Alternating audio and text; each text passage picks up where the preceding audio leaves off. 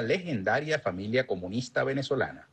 Estudió y se graduó con honores en la antigua Unión Soviética, específicamente en Ucrania, epicentro de cruciales acontecimientos mundiales en la actualidad. Por más de cinco años fue embajador en Rusia y ahora le corresponde encabezar el Ministerio del Poder Popular para las Relaciones Exteriores de la República Bolivariana de Venezuela. Carlos Rafael Faría Tortosa, bienvenido. Ernesto, muchas gracias por la invitación. Este, sé que están celebrando su programa centenario, número 100, así que te felicito, felicito a tu equipo. Gracias por la invitación de nuevo. Gracias, Carlos. Aquí siempre comenzamos preguntando lo mismo. ¿Por qué te pusieron esos nombres? Carlos Rafael. Muy sí, interesante. En el caso de la familia, bueno, papá Jesús Faría, militante del Partido Comunista, con toda una historia en, en nuestro país, él era muy amigo de Carlos Rafael Rodríguez, quien fue presidente del Consejo de Ministros de Cuba. Y bueno, esa fue una de las razones. Otra de las razones, Carlos Rafael era un seudónimo que usaba papá en la clandestinidad también.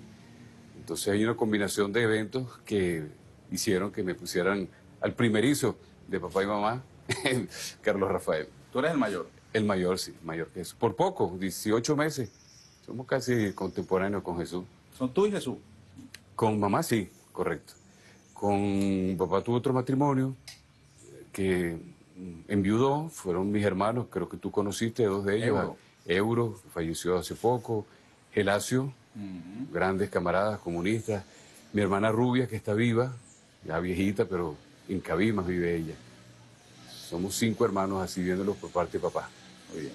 Mira, Carlos, tú te graduaste con honores, cum laude en la Universidad Politécnica de Kharkov, en Ucrania, cuando era parte de la Unión Soviética. Así es, sí. ¿Cómo fue esa experiencia tuya allá? Bueno, eh, imagínate, eso era un anhelo, un sueño de papá y de mamá también. Ellos nos dijeron a Jesús y a mí, bueno, ustedes van a estudiar en la patria, uno en la patria de Marx, uno en la patria de Lenin y el otro en la patria de Marx.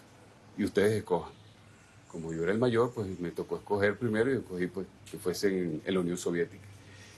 Jesús estudió en la República Democrática Alemana y en mi caso que se haya escogido Kharkov como parte de una ciudad de la Unión Soviética y no de, de Ucrania y no de Rusia, fue un tema muy eh, de las autoridades rusas que seleccionaron las instituciones. En ese entonces autoridades soviéticas. Soviéticas, perdón, claro, gracias, sí. Las autoridades soviéticas y de hecho, si lo vemos ahorita, Kharkov se considera una, una ciudad básicamente rusa. La mayoría de la gente allí es ruso parlante, son ciudadanos ucranianos, pero eh, tanto el idioma, la cultura, muy diferente. Ucrania es muy particular. Una parte occidental que se caracteriza por ser muy ucraniana y la parte oriental por ser más bien rusa. Tú obtuviste un título de ingeniero mecánico mención tecnología de la construcción de maquinarias, máquinas y herramientas e instrumentos. Me imagino que nunca te imaginaste terminar siendo canciller. no. Primero, bueno, esta experiencia anterior de ser embajador, volver a un, al, casi que al país donde me formé desde el punto de vista académico, que el idioma iba a ser muy necesario para ese trabajo que estuve realizando, el servicio de nuestra revolución, y claro que nunca me imaginé pero bueno, uno siempre, la formación política era para estar listo para cualquier trinchera. Y bueno, nos toca ahorita llevar adelante este, esta gran responsabilidad que nos ha dado el presidente Nicolás Maduro. Mira, y ahora que Ucrania es noticia por todo ese conflicto armado que hay en ese lugar, ¿cómo ves tú desde el punto de vista humano, eh, digamos, las noticias que llegan? Porque me imagino que tú conoces esos lugares, esos recovecos, ¿no? Donde se producen los los eventos bélicos que son noticias. Sí, bueno, muy doloroso saber que todo evento de guerra es una cuestión muy dolorosa, indistintamente de las razones, que sería otra parte de la conversación, del análisis, pero saber que mueren personas, que eso es muy doloroso, ver cómo eh, se destruye toda, o, no se destruye, sino que son víctimas, pues el evento de guerra como tal, que tiene unas connotaciones para los rusos muy particulares, que es en defensa de su seguridad y, bueno, por supuesto, todos aspiramos que ese, eh, ese conflicto concluya, que llegue la paz lo más pronto posible, que los rusos logren también garantizar todas sus eh, preocupaciones para asegurar eh, la seguridad en los próximos años por venir para su población. Oye, Carlos, y tú que estuviste allí estudiando, ¿no? Eh, en el instituto, en la Universidad Politécnica de Kharkov, ¿verdad? ¿Eso fue en qué época? En los años 80, ¿no? 80, del 80 al 87. Del 80 al 87. Oye, humanamente, ¿cómo te sientes tú cuando recibes noticias, lees, las cosas sobre eh, los eventos bélicos que se dan en esos lugares donde tú estudiaste? Sí, bueno, cualquier evento de guerra es un evento muy, muy doloroso y todos ansiamos, desde nuestro pueblo y nuestro gobierno, ansiamos que llegue pronto la paz. Más allá de las razones por las que surgieron todas estas decisiones, esperemos que esto concluya y por supuesto ver eh, el conflicto en sí, uno recuerda cómo estaba, pasó sus años de, juventud por allá y siempre hay una nostalgia por todo eso tiempo. ¿Mantienes amistades con sí, tus compañeros? Bueno, una profesora solamente. Eh, en aquella época era muy difícil mantener esa amistad, no existía el internet, el WhatsApp. Había que dedicarse a escribir cartas. Imagínate tantas amistades que uno dejó al comienzo con mucho ánimo y ganas de mantener eso, pero se va perdiendo difícil, sí, pues. Eso es escribir a mano, mandar una carta, 40 días, 45 días para que la lea. No, ir al correo, ponerle el sello. Exactamente, sí. Mira, y en esa época lo que predominaba en el discurso era, eh, digamos, la campaña por la paz, la, digamos, la eliminación de armas nucleares, era plena guerra fría. Pero hoy día, pasadas las décadas, Oye, se habla con una normalidad sobre la posibilidad de un conflicto nuclear, Así del uso de armas nucleares. Correcto. Que podrían acabar en días con porciones enteras de la humanidad, incluso con la humanidad completa. Así es. La, eh, esa época que se vio en esa década, 70, incluso 80, eh, donde ambas potencias de la época, tanto la Unión Soviética como los Estados Unidos, entendieron que había que garantizar la seguridad y eso se daba básicamente porque ellos, ambas partes entendían que había un balance, que ni uno ni otro podían eh, obtener alguna victoria, supremacía sobre el, otro país o el otro bloque que existía. Era la mutua destrucción asegurada. Exactamente, exactamente. Entonces se llevaron adelante, sobre todo por parte de, los Estados Unidos, que siempre se ha caracterizado por llevar adelante la espiral armamentista, este, amenazar a los diferentes países fuesen más débiles o de su nivel eh, para mantener la presión sobre eso. Era la realidad de la Guerra Fría. Y en la Unión Soviética siempre con una política de paz. Esto no se trata de hacer propaganda, era así, y la historia así lo, lo, indica en, su, en sus relatos, en su historia. Este, logró esos importantes acuerdos en cuanto a los diferentes tipos de armamentos, de su alcance. Y como tú lo mencionas ahorita, eso al contrario, Estados Unidos está desmontando absolutamente cada uno de esos instrumentos que se habían logrado. Y es, y son los Estados Unidos los que han hecho eso, unilateralmente. Se han retirado, no han renovado. Entonces eso, por supuesto, nos lleva a, una situación de muchísimo riesgo para toda la humanidad. Y, eso lo vemos ahorita con este conflicto que, existe, eh, e incluso en el que algunos irresponsables de la política internacional, especialmente eh, voceros de los gobiernos de Europa, del Reino Unido, dicen que ellos están dispuestos a usar el armamento nuclear si es necesario. Eh, el gobierno del presidente Putin tiene que responder y ha respondido, bueno, estamos listos. Si eso ha de darse, pues nosotros vamos a defendernos y eso sería el final de la humanidad. Porque Rusia respondería eh, de manera integral para poder garantizar su defensa, sabiendo que no solamente es el Reino Unido, hay otros países que son poseedores de armamento nuclear y que otros países también tienen armamento nuclear de sus territorios que accionarían de manera por solidaridad automática eh, y por ser miembros de la OTAN y todo esto. Así que sería algo, una catástrofe para, no, será el final de la existencia de la vida humana, porque después de eso vendría lo que es el invierno nuclear y todo esto que han, de lo que nos han alertado eh, los científicos del mundo que ocurriría si esto llegase a pasar. Putin dentro de su forma de, dar esto, y si me permiten dar este, él ha dicho, bueno, está bien, estamos listos. Solo que cuando nos destruiríamos, pues Occidente iría al infierno y nosotros iríamos al cielo. Pero ya dado por hecho de que sería el fin de la humanidad. Pero lo ha dicho el presidente Putin así con esa con esos términos, su, forma de a veces de comunicar las cosas. Eh, ojalá eso se revierta. Creo que eso puede ocurrir, pero de, Occidente debe terminar de entender que en este momento, en, el plano de la, del armamento, sobre todo este tipo de armamento nuclear y lo que tiene que ver con los portadores de las ojivas nucleares, donde Rusia se ha destacado con, con un último avance se puede llamar así en el ámbito militar, eh, Estados Unidos y la OTAN sabe que no pueden transgredir, traspasar una línea roja que ha marcado Rusia. Y lo vemos en la reacción de la OTAN. En otras circunstancias la OTAN hubiera ya intervenido con ejército y de otra manera, aunque lo está haciendo, suministrando armamento, pero lo hubiera hecho de otra manera.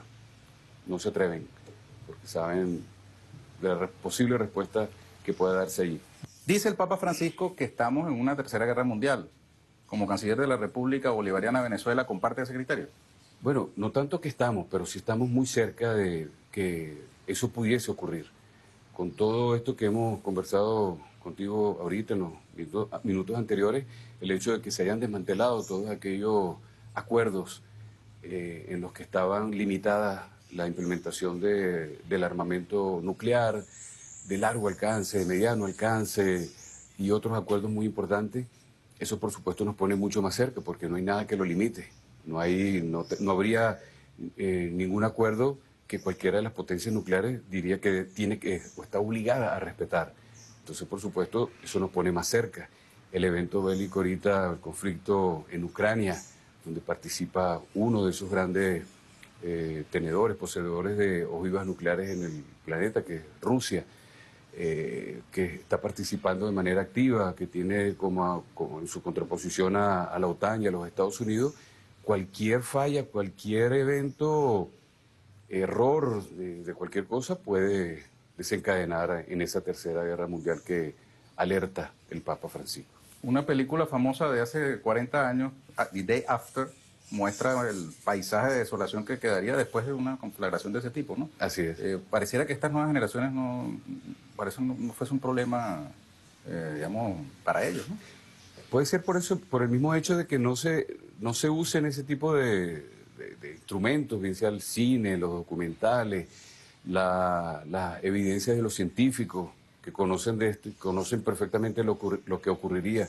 Creo que es un tema a debatir para que en el mundo se hable más de lo que pudiera ocurrir después de una guerra nuclear, para que se puedan activar los movimientos de paz, como lo fue precisamente en la época que tú describías de la Guerra Fría. Y quizás eso no le, no le interese mucho al imperialismo y Occidente en general, de que se hable mucho de eso, para que justamente a partir de esa información eh, real puedan activarse los jóvenes, que siempre son los eh, pioneros, los impulsores de este tipo de movimientos, puedan tomar esas banderas de lucha. Carlos, en ese contexto, ¿cuál es la ubicación que ha de tener la política exterior venezolana? Eh, en un momento excepcional, ¿no? De la historia de la humanidad, con esos riesgos que bien hemos descrito. Bueno, eh, presidente Nicolás Maduro y en su momento también el comandante Chávez, pero ahorita en este momento ha marcado de una manera muy clara cuál es la línea, una política eh, de diplomacia bolivariana de paz, así lo ha definido el presidente, que dentro de ello, por supuesto, están contemplados eh, el elemento principal para que se pueda mantener la paz, es el respeto que hay que tener hacia todos los gobiernos al momento de que cada quien decida cuál es el rumbo que decide para ello, que no se cuestionen las políticas internas, eh, como es el caso de lo que nosotros estamos sufriendo en los últimos años que es una voluntad de nuestro pueblo soberano de querer seguir manteniendo el proyecto político del comandante Chávez y en este momento a través del presidente Nicolás Maduro y su gobierno. No respetan eh, la soberanía ni, tampoco nuestra, nuestro derecho a la autodeterminación de nuestra política. Entonces, por supuesto, eso nosotros lo aplicamos al interno, nosotros lo aplicamos y lo promovemos a través a través del presidente Nicolás Maduro en la política regional, pero también es así en la política mundial. Siempre hemos mantenido la posición, el presidente Maduro, en defensa sobre todo de aquellas naciones, aquellos pueblos donde eh, se ha visto transgredida este, este derecho eh, primordial para la subsistencia de cualquier pueblo, de cualquier nación, de cualquier gobierno, para que se respete su derecho. Los pueblos eh, que, han, que, han, sido víctimas por años de agresiones, pueblo palestino, pueblo saharaui, los conflictos bélicos que han surgido en los años 90 con lo que era Yugoslavia, que fue un evento muy trágico para eh, el pueblo eh, el pueblo yugoslavio y todas sus nacionalidades al interno, y así todos los conflictos, la política y la posición que siempre ha tenido el presidente Nicolás Maduro en su política internacional ha sido por la paz, en defensa de la paz, en defensa de los pueblos. Paradójicamente, con toda la crisis alrededor de la energía, que tiene mucho que ver, por cierto, con, con el conflicto europeo, a Venezuela pareciera haberse le abierto una ventana de oportunidad en su relación con los Estados Unidos, eh, por algunos gestos que ha habido de parte de ese gobierno. Eh, ¿Cómo evalúa esa posibilidad de la normalización o no de las relaciones entre Venezuela y los Estados Unidos? El presidente Nicolás Maduro siempre ha sido muy claro. Él está listo para las conversaciones, está listo para trabajar a través de, las mesas de diálogo con la oposición, a dialogar con los países que hasta ahora han sido hostiles hacia su persona, hacia su gobierno, eh, y en la práctica lo ha demostrado. No fue la iniciativa, aunque siempre lo ha dicho, siempre ha estado abierto, pero fue una iniciativa del gobierno de los Estados Unidos de hacer ese eh, acercamiento hacia el presidente Nicolás Maduro. Eh, de eh, normalizar la relación, pero no la, relación de la, la relación diplomática y del desmontaje de las sanciones, de las medidas coercitivas, sino normalización en el intercambio energético, en el restablecimiento de la cooperación en ese ámbito, porque le interesa en este momento a los Estados Unidos. Y sin embargo, el presidente Nicolás Maduro dijo, sí, estamos listos para eh, restablecer esa cooperación porque eso por supuesto abriría las condiciones y las puertas para que eh, pudiera empezar a trabajarse en la normalización de lo político también. Así que dado un mensaje muy positivo, muy claro a la administración del presidente Biden. Eh, y bueno, se está esperando la, retroalimentación, la respuesta ante esa eh, respuesta tan clara que ha dado el gobierno del presidente Maduro. creo que pudiera darse hay algunas condiciones políticas eh, que se están viendo, esperando elecciones de término medio en los Estados Unidos. Se dice que el presidente Biden está esperando a que eso ocurra para después entonces enrumbar de una manera más clara su relación con eh, nuestro gobierno. Así que estamos esperando que eso pueda ocurrir. Pero, vuelvo y resumo rápidamente, eso se está dando por interés pro iniciativa propia de parte de los Estados Unidos, porque lo necesitan en este momento. Sin desmontar, por cierto, ni media medida coercitiva que nos han aplicado a nosotros. Pero pensamos que eso puede mejorar una vez que se restablezca la cooperación en ese ámbito económico, específicamente en lo energético. Mientras tanto, el panorama en América Latina ha venido variando. Una gran noticia ha ocurrido en Colombia con la elección del presidente Petro, ¿no? Y la llegada a Venezuela de un embajador. Armando Benedetti. ¿Cuáles son las perspectivas en la relación con Colombia? Sí, eso muy correcto lo que menciona Ernesto, una eh, situación que ha llegado a Colombia que nosotros saludamos, nuestro gobierno, nuestro pueblo. Estamos muy contentos de que el pueblo colombiano haya hecho esa elección, cambiando radicalmente el rumbo que se tenía en los años previos, en la época previa a la llegada del presidente Petro, porque básicamente eso va a permitir, y ya los hechos, las declaraciones, las voluntades políticas de nuestros líderes lo han demostrado, que va todo eso encaminado a la normalización de las relaciones diplomáticas, políticas, la cooperación eh, eh, económica y en todos los ámbitos, y por supuesto en el acercamiento natural que nunca debió interrumpirse entre nuestros pueblos. Nosotros, pueblo venezolano, el pueblo colombiano, somos un mismo pueblo. Lo han dicho nuestros dirigentes, con un mismo padre de nuestras respectivas patrias, que es el libertador Simón Bolívar, con eventos que casi la historia permitió que fuésemos parte de una misma nación. Pero bueno, no se pudo. Ese sueño de nuestro prócer generalísimo Francisco de Miranda y heredado después por el libertador Simón Bolívar para llevarlo a la práctica. Pero eso nos hace pueblos muy unidos, con historias comunes, y eso es lo que tenemos que preservar, tratar de preservar, por sobre todo lo que pueda ocurrir en el ámbito político. Hubo eh, diferentes gobiernos con puntos de vista muy, muy diferentes en la época de Chávez y la época eh, y en la época del presidente Maduro también. Y se pudo llevar en algún momento buenas relaciones. Pero este, ocurrieron eventos que no permitieron que eso eh, perdurara en el tiempo. Y bueno, se tuvieron que tomar algunas decisiones en defensa de la seguridad, de nuestra soberanía, de nuestra independencia, de nuestro pueblo. Y por eso el distanciamiento que hubo en los últimos años. Pero ahorita muy, muy preparados para que eso pueda de manera rápida, ordenada, como lo ha indicado el presidente Nicolás, en el restablecimiento de las relaciones. Llegó un embajador eh, del gobierno del presidente Petro, llegó nuestro emisario, nuestro diplomático, embajador Plasencia, también a presentar sus cartas credenciales ante el gobierno del presidente Petro. Y quizás esto no se sabe mucho, pero esto ocurrió casi que como si se hubiera planificado.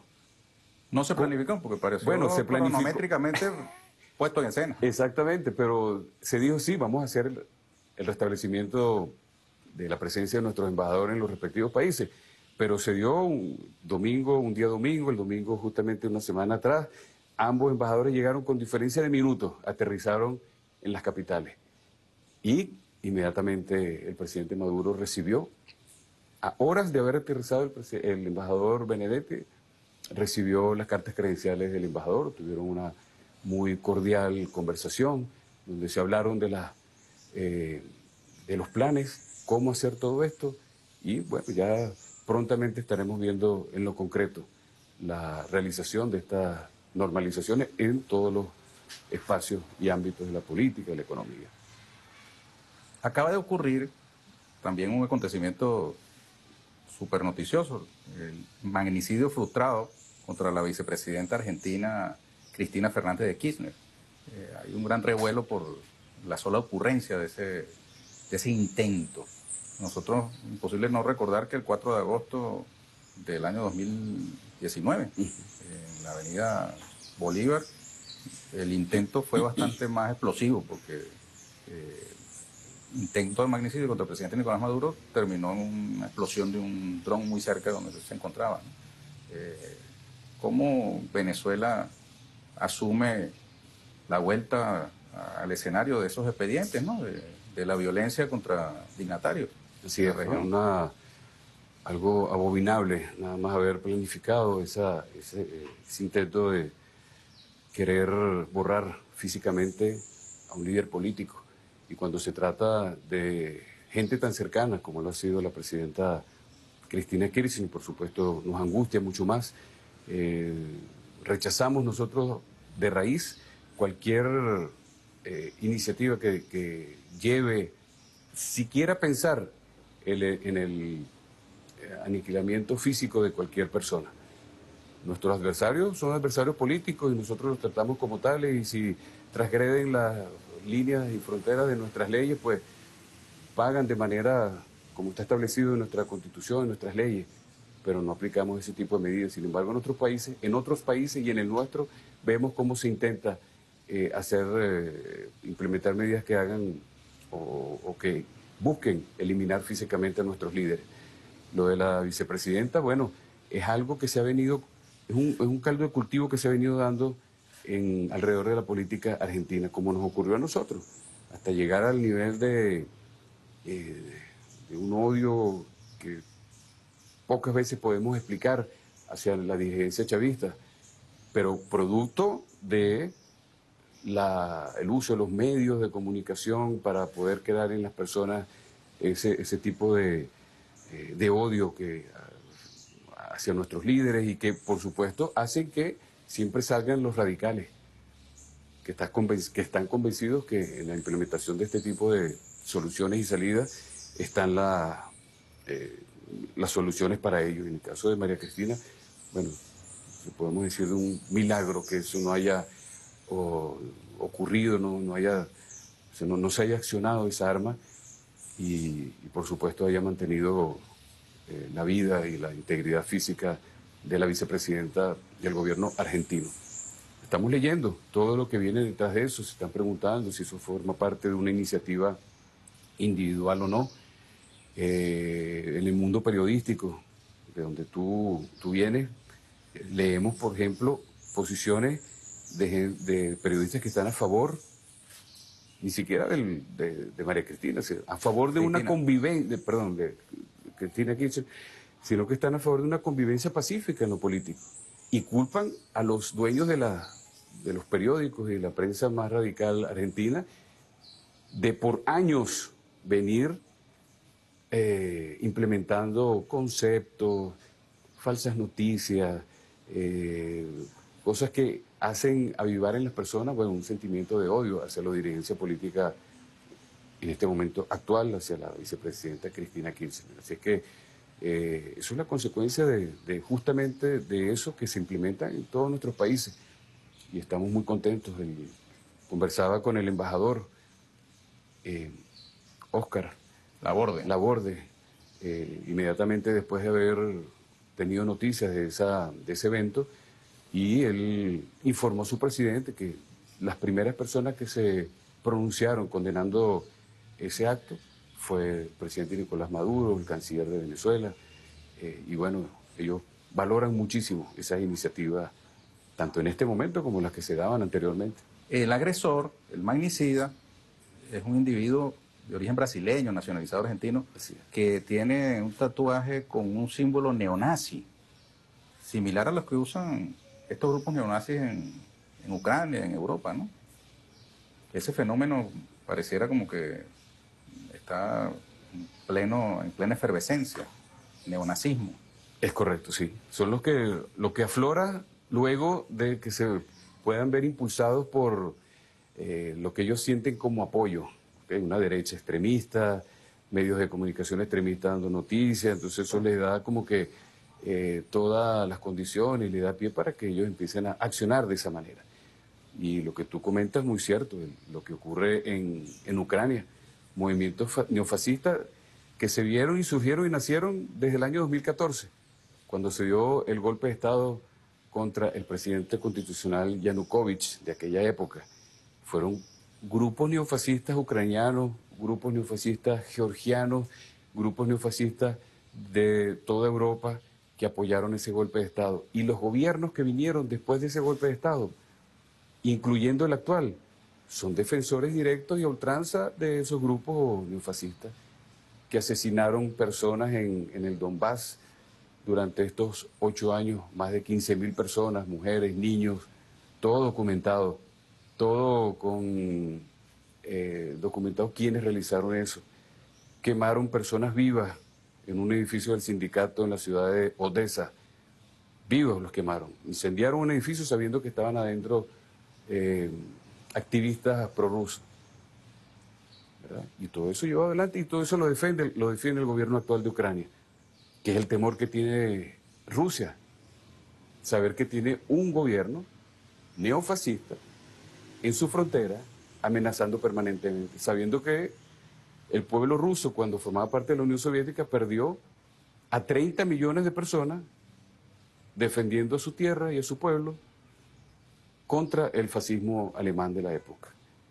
Y a Europa también la liberó. Media Europa fue liberada por el Ejército Rojo.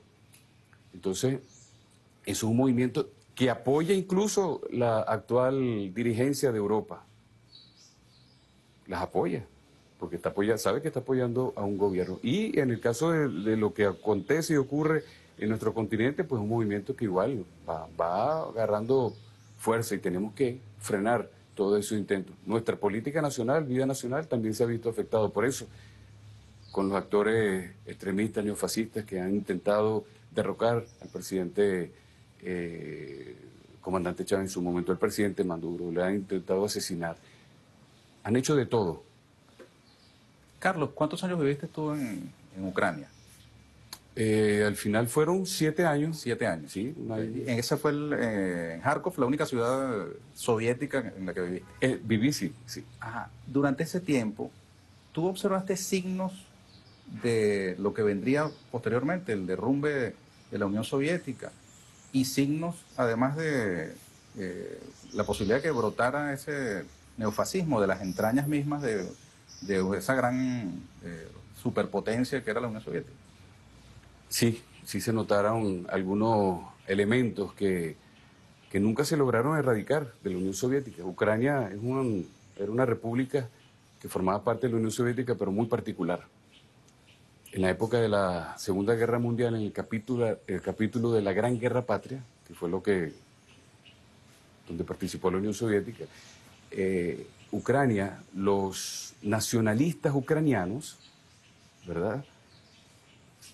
Jugaron un rol muy importante en formar parte de las filas del, fascismo alemán. Eran los colaboracionistas, que lo llamaban así, que implementaban las políticas del neofascismo. Eran los que estaban al frente de los lagos de, donde reunían a todos los presos políticos, a los civiles, a los militares, los torturaban, los asesinaban. Ellos eran los que dirigían eso y ellos tenían sus dirigentes emblemáticos de aquella época. Que ahorita... Bandera. Correcto, el líder Bandera. Ahorita son los héroes del gobierno de Zelensky, del gobierno ucraniano. le, han, le han puesto estatua. Día nacional, el día de su nacimiento, no sé qué cosa. Entonces, eh, sí se observaba eso, sobre todo en la parte oriental de Ucrania ahí se observaba algunas cosas que no terminaron de quedar como que claras para el tema de que, bueno, nadie más podía pensar que alguien podía estar defendiendo eh, lo que ocurrió en los cuatro años de guerra que tuvo la Unión Soviética. Y la parte occidental no era tan así, era más, más convencida de que, bueno, eso era un capítulo cerrado y no se podía volver a eso.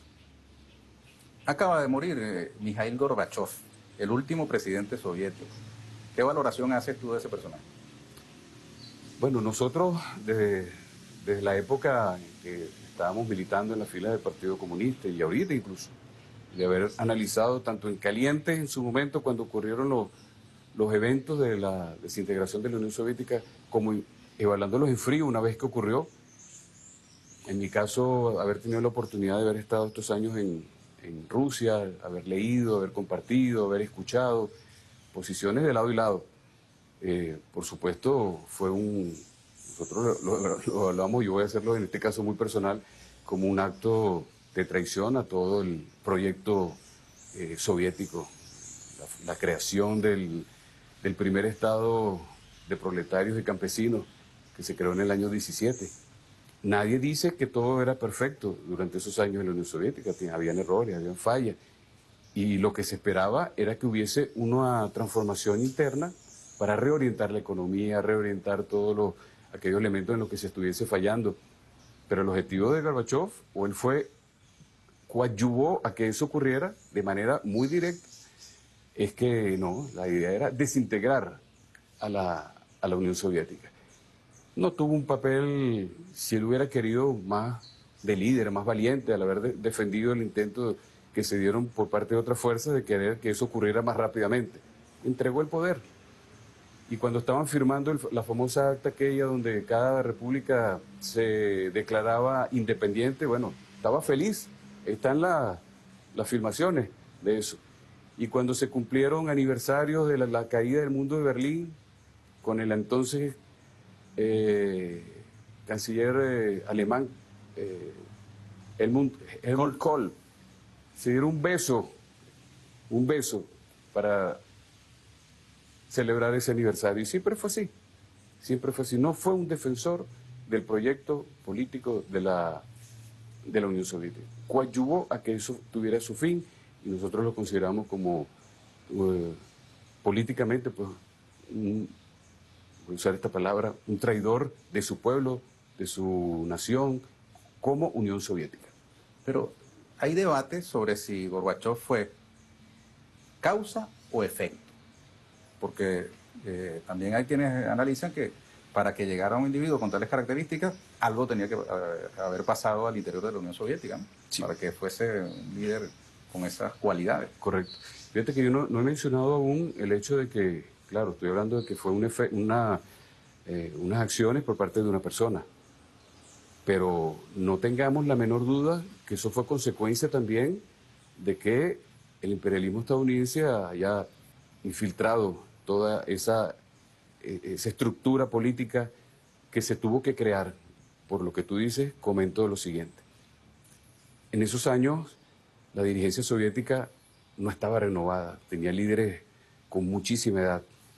Y tan fue así que, bueno, muere Brezhnev, muere Chernienko, Digo yo como líderes del Partido Comunista y presidente de, la Unión Soviética, y Andropov, que fue la última esperanza, por su firmeza política, haber venido de la KGB, eh, su deseo de acabar con la corrupción, pero bueno, la salud no se lo permitió. Entonces se tuvo que tener, casi que se puede decir que se tuvo que decidir por una figura política más joven. Y se escoge a Garbacho. ¿Cómo se dio? ¿Quién fue el que lo propuso? Y bueno, vino toda una renovación no oportuna desde el punto de vista de, la selección de cuadros políticos, entre las que estaba, por cierto, Yeltsin también, que pues hizo debilitar lo que son la, la, fortaleza ideológica de ese país. Y empezó a penetrar, vieron la gran oportunidad desde Occidente, empezaron a penetrar, empezaron a convencer, empezaron a, a usar todo todos esos instrumentos y herramientas que usa el imperialismo para eh, debilitar las conciencias políticas de las personas. Y bueno, ya al final ganado a que eso ocurriese. Yo voy a decir aquí qué dicen, ¿no? Porque está escrito algunos historiadores y todo depende de qué historiador lo cuente, pero la compañera de vida del presidente del, de Gorbachev también era una convencida de que había que acabar, terminar con, el, con, la estructura, con el país como tal de la Unión Soviética. Entonces, bueno, era muy difícil que eso no ocurriera y ciertamente fue una consecuencia de problemas que tenía la Unión Soviética en ese momento. Tenía que dar alguna, eh, renovar todo lo que era el tema de, la, eh, de, su concepto, de su concepto en cuanto a lo económico. China lo hizo. No se desintegró China para lograr lo que estamos viendo en este momento, que algunos lo critican, otros no lo criticamos, pero esa fue la opción que ellos consiguieron para poder renovar su proyecto político. Y se sigue considerando un país socialista, se sigue considerando, ellos siguen considerando que es un país que va en desarrollo hacia la construcción del socialismo a lo chino. Y así en este momento lo estamos viendo en, en muchos otros países, Vietnam, construcción del socialismo a lo vietnamita, y los camaradas y hermanos cubanos también lo dicen de esa manera, y nosotros lo decimos de esa manera. Queremos construir el socialismo bajo un concepto y, e idea del bolivarianismo. Así que esa, eh, eso que ocurrió ya, pues bueno, a todos nos impactó, causó toda una crisis mundial del movimiento revolucionario, pero eso no fue impedimento para que el comandante Chávez, incluso a pocos años de haber ocurrido eso, tomara las banderas y dijera, bueno, esto no, se ha acabado acá todavía. Vamos para adelante. Tenemos que hacer una pausa. Vamos al regreso, Carlos, a tocar algunos temas de actualidad. Por ejemplo, el avión venezolano que permanece retenido en la Argentina. Vamos a la pausa y sobre este y otros temas nos comenta nuestro canciller Carlos Rafael Faría Tortosa.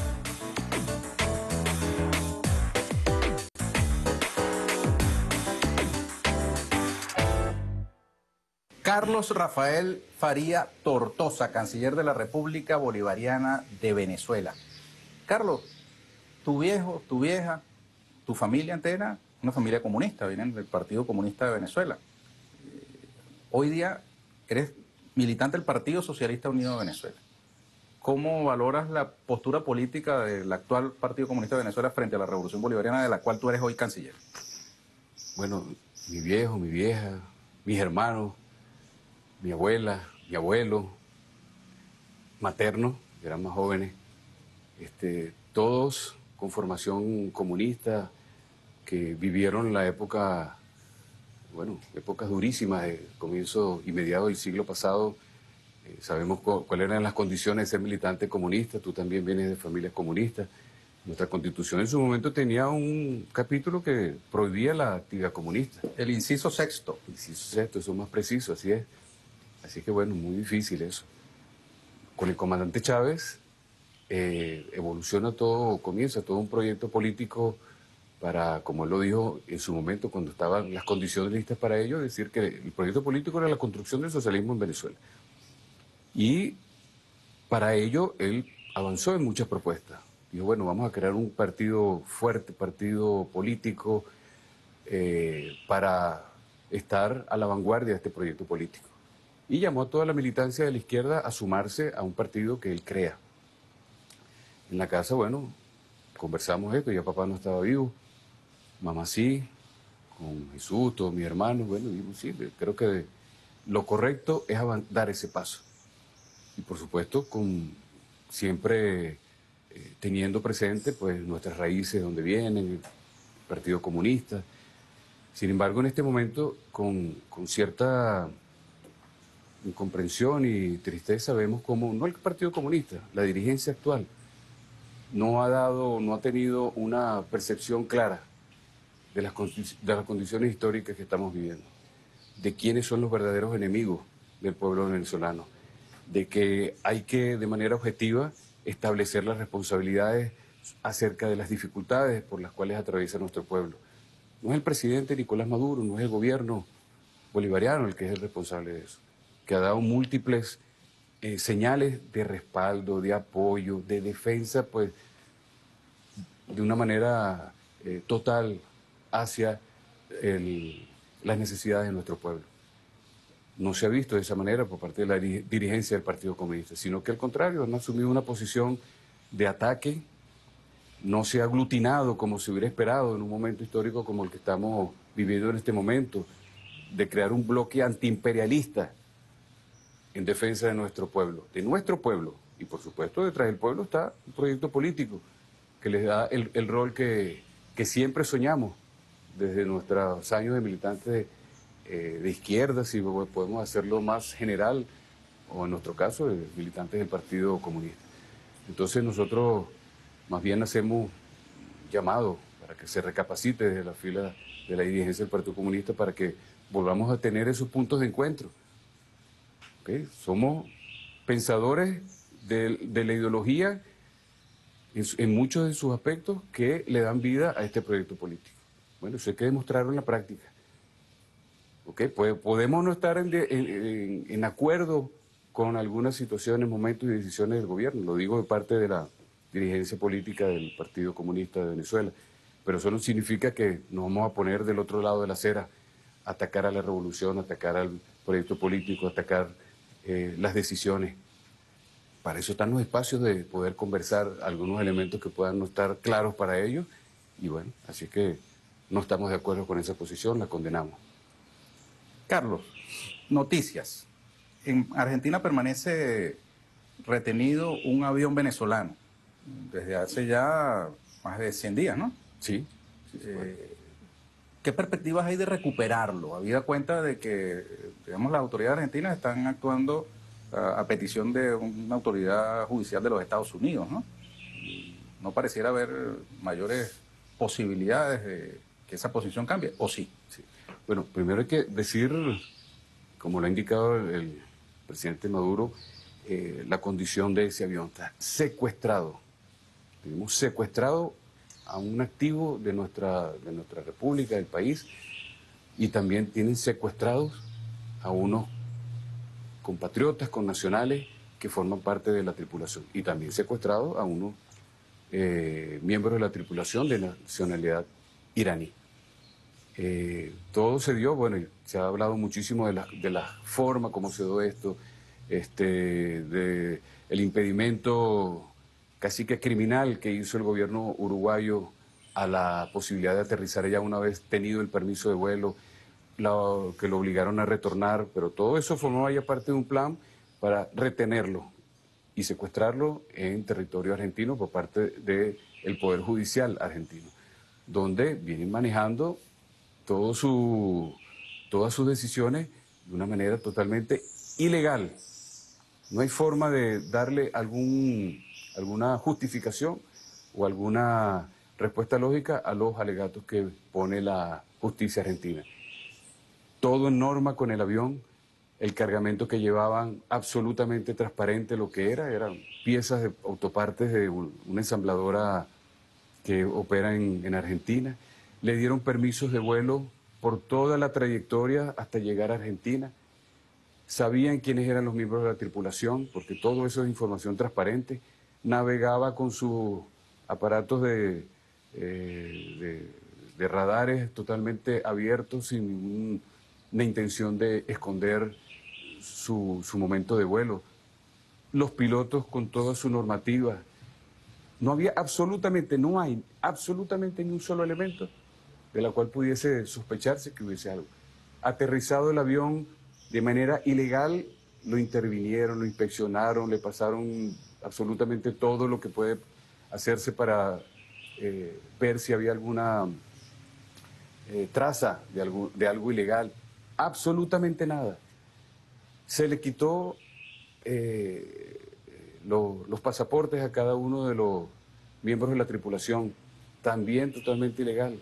Dicen, no, ustedes están libres, pero libres para estar en, Argentina, no pueden regresar a sus hogares, volver a, su, a ver a sus familias, a sus hijos, a sus esposas, esposos los iraníes igualmente en esas condiciones, secuestrados están. Entonces, eh, nosotros eh, esperando, dando un tiempo de espera para ver cómo se desenvolvía la situación y que pudiera retomarse la normalidad y la liberación tanto de nuestra tripulación como de nuestro avión, bueno, el presidente Maduro puso un alto a esta situación y hizo un llamado a la, a la movilización activa de eh, las fuerzas progresistas de Argentina, de nuestro pueblo y absolutamente todos aquellos espacios y, países para proteger, para denunciar lo que estaba ocurriendo y de lo que sigue ocurriendo en, en Argentina con nuestro activo y nuestra tripulación. Lo más reciente es una, una decisión que eh, se, se pudo evidenciar, descubrir por parte de un tribunal de los Estados Unidos que tiene la intención de incautar, incautar el avión. Igualmente, sin ninguna eh, razonamiento lógico. Lo único que dicen que se violentó una condición de venta que no tenía la autorización del gobierno, eh, perdón, de, en este caso de la Boeing, que es la fabricante. del avión. Y eso, por supuesto, si es así, entonces habría que denunciar a, a los anteriores dueños de ese avión, como es el caso de Air France. Había que incautarle a Air France, había, habría que eh, eh, multarlo, quitarle todos aquellos aeronaves que fueron comercializadas bajo ese esquema que no se obtuvo. No hay absolutamente nada. Así es que la posición de nuestro gobierno sigue siendo muy firme. Pronta liberación de nuestra tripulación y ponerle fin a ese triste evento de las relaciones internacionales en la política de la aeronáutica civil, donde se ha creado este precedente que quienes no quieren asumir una posición sobre este tema, el día de mañana pueden ser también, eh, bueno, víctimas de, de esas agresiones eh, mal tomadas y esos momentos que nos están haciendo pasar a nuestro gobierno. Dice Eugenio Raúl Zaffaroni, que es un catedrático, magistrado eh, argentino, que hipotéticamente o eventualmente Argentina se expone a que en algún momento se le exija una indemnización por, digamos, no devolver el avión. ¿Eso está planteado? Así esta hora. En este momento, lo, que se está, por lo que se está luchando es por la liberación de, nuestro, de las tripulaciones venezolana, iraní, y la devolución de este avión que forma parte de un activo muy importante, de una empresa muy importante y de una función muy importante de nuestro gobierno. Hay que decirlo también, Ernesto, este avión se usaba eh, no solamente para esas operaciones comerciales convencionales, ese es el avión que traía las vacunas a Venezuela, tanto para el COVID como vacunas eh, antigripales, medicamentos, eh, equipos para el tema de la atención del COVID en Venezuela, para funciones de solidaridad con nuestros hermanos pueblos, como lo fue recientemente, me tocó, yo estaba recién ah, habiendo asumido esta responsabilidad, despedir en Maiquetía el avión, ese avión, con una tripulación especializada para atender una calamidad eh, por temas de lluvia en Surinam, a nuestros hermanos allá. Fueron, atendieron, bueno, muy es, es lo que caracteriza a nuestro gobierno atender. Era un caballito de batalla aeronáutico. Un caballito de batalla para atender todas las necesidades, exactamente. Y por eso, esa es la principal razón por la cual inhabilitan y secuestran al avión, para que no sigamos en esa tarea, atendiendo las necesidades de nuestro pueblo. Es importante que el pueblo una vez más lo escuche, lo sepa. Esas fueron eh, realmente las razones. Impedirnos seguir avanzando en esa gran tarea que viene realizando eh, con Viasa, eh, activando los aviones, estableciendo eh, la conectividad aérea con muchos países y por supuesto esta función de solidaridad hacia nuestro pueblo, de apoyo hacia nuestro pueblo y solidaridad hacia los pueblos del mundo. Ahora, esta situación no ha incidido en las relaciones diplomáticas con Argentina, ¿no? No ha incidido. No, no. Hemos hecho, han habido conversaciones con el presidente, entre el presidente Maduro y el presidente Fernández para atender esta, esta necesidad, había un compromiso también para poder eh, eso, solucionar el problema, pero en el caso del, del, sistema judicial argentino vemos cómo está penetrado, ¿verdad? Y, actúa bajo instrucciones no necesariamente en los intereses del, del, país, sino que vienen eh, instrumentadas desde afuera, como lo fue el caso de Brasil cuando atacaron a la presidenta Dilma, presidente Lula, eh, sí, Lula. Digo porque eh, en paralelo a esta situación hemos visto cómo nuestra embajadora Estela Lugo eh, fue recibida por el presidente Fernández con sus cartas credenciales, ¿no? Así es. Este, acá recibimos al embajador Laborde. Correcto. de modo pues que pareciera que hay un, deslinde entre la situación del avión y la relación diplomática. Es correcto, sí. Carlos, en el caso de Rusia, de donde tú vienes no solamente como estudiante eh, de la antigua Unión Soviética, sino como embajador de durante cuatro, cinco años. ¿Cuánto tiempo? Eh, cinco años y medio. Cinco años y medio, como embajador de Venezuela en Rusia. Toda esta mm, situación que se ha presentado, no solamente en el campo bélico, sino también económico, eh, la guerra económica que hay contra Rusia, contra el, no solamente el tema cultural de la llamada rusofobia, sino cosas específicas como la comercialización de su gas o de su petróleo esa situación no incide en la relación económica con Venezuela, que ha tenido en Rusia uno de sus eh, aliados fundamentales en estos tiempos de bloqueo, de sanciones. Eh, bueno, sí hay unos efectos, por supuesto. Nosotros teníamos importantes niveles de cooperación con Rusia en lo político y en muchos ámbitos, pero específicamente eh, en lo que me preguntas, en el tema energético.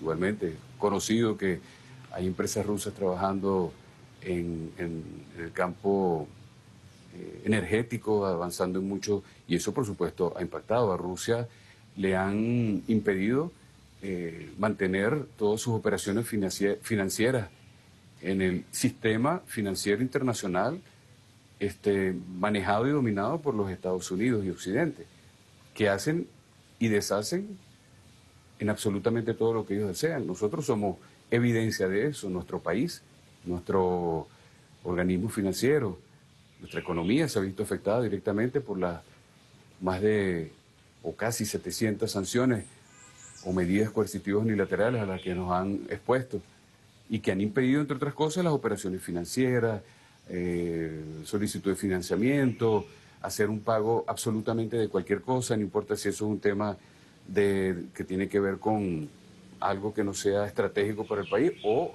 en el tema médico y dirigido a la salud en estos dos años y pico de, pandemia. No nos permite ni siquiera comprar una vacuna. Tenemos que acudir a otros mecanismos a través de la ONU para que eso ocurra, ¿verdad? Hubo operaciones muy eh, bilaterales y muy cerradas con, con los países que nos ayudan. Y la respuesta es sí, por supuesto que nos hemos visto impactados por eso.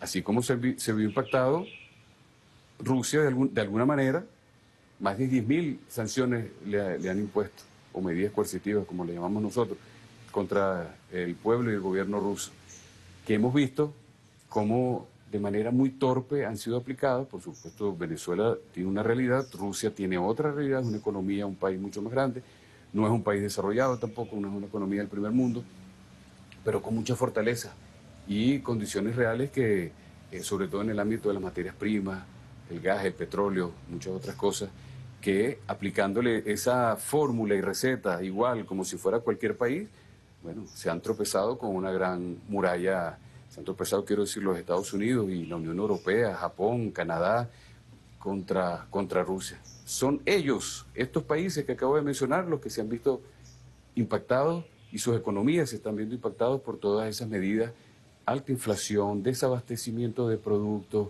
el precio de, la, de, lo, de los productos energéticos, hidrocarburos, gasolina, gasoil, gas. Viene ya el invierno, se espera situaciones de dificultad para, para esos pueblos y esos gobiernos. Ya algunos gobiernos incluso no han podido seguir avanzando en su posición política los han cambiado, en el caso del Reino Unido, el caso de Italia, otros que también igualmente vienen siendo muy cuestionados y serán y van a ser mucho más cuestionados cuando venga el invierno en recomendaciones que le han hecho estos líderes a sus pueblos, que bueno, que si hay calor hay que flojarse la corbata o, piensan, eh, que recomiendan que compren más cobijas para el invierno. Esas son las recomendaciones de los líderes, sobre todo de Europa. Líderes lo, lo hago de esa manera cualquier líder, imagínense, con una recomendación de este tipo. ¿no? Así es que, sí, se ha visto impactado el mundo entero, nuestras relaciones bilaterales con Rusia, el mundo entero en lo energético, el mundo entero en lo alimenticio.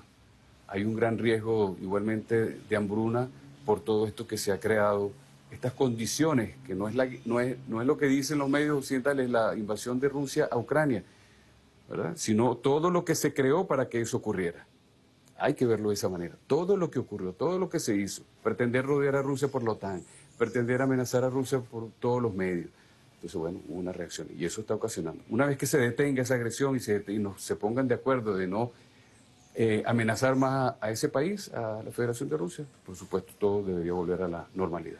Ahora, desde el punto de vista interno, aquí hay personas que han recibido las primeras dosis de la vacuna Sputnik, que es de fabricación rusa muchos eh, más incluso de la vacuna o las vacunas de fabricación china. Esas, eh, digamos, articulaciones que se, ha hecho, se han hecho del gobierno permiten garantizar que esas eh, próximas dosis lleguen al país, estos países. Sí, eso, esa cooperación no, se ha visto afectada. Hay la posibilidad siempre de hacer esa, esas importaciones y bueno, lo más importante para la tranquilidad de nuestro pueblo que si, haya, si hay la, el temor de que eso pudiese ocurrir, Venezuela ya tiene también desarrollada la cooperación con China, con una vacuna también eh, muy efectiva para contrarrestar las consecuencias de la COVID y también con nuestros hermanos cubanos.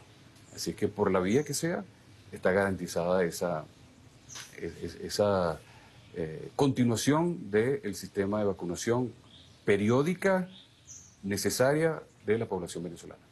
Bueno, Carlos, hemos llegado al final, no solo de este programa de hoy, sino de esta primera temporada del programa que hemos realizado durante estos dos años.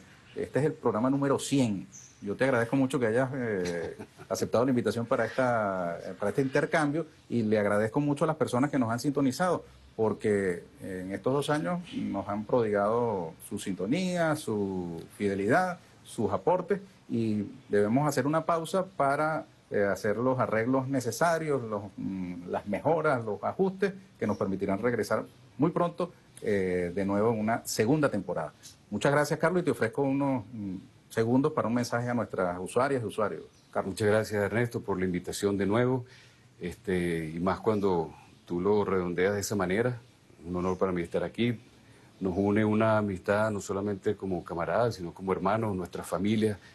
Eh, fueron y siguen siendo muy cercanas y bueno, esperemos y estoy seguro que eso va a continuar. Saludo a todo tu equipo técnico, los felicito por esa gran labor que vienen haciendo y bueno, esperando con ansia el reinicio de esa nueva temporada con tu programa y todavía nuestro pueblo, Venezuela, bueno, toda la esperanza, ya con, elementos muy concretos y claros en la evolución y en las mejoras del tema económico que han sido anunciadas por el presidente Nicolás Maduro. Esto es solo el inicio.